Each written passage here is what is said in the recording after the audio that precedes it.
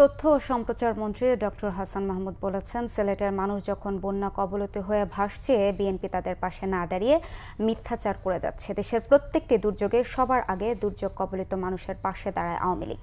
এমন দাবি করে মন্ত্রী আরও বলেন, বিএনপির আমলের সকল দুর্যোগে মানুষকে অবহেলা করেছে বিএনপি।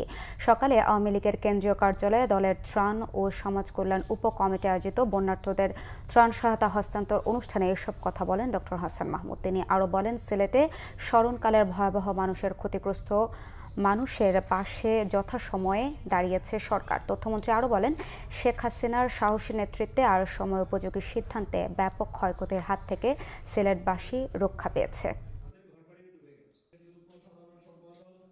বন্যার্থদের পাশে বিএনপি নাই।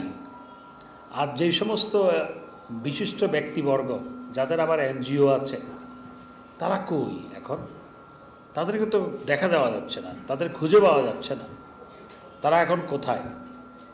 কেউ কেউ টক শোতে আছে, কিন্তু মানুষের পাশে তাকে আর তাদের আর দেখা যাচ্ছে না।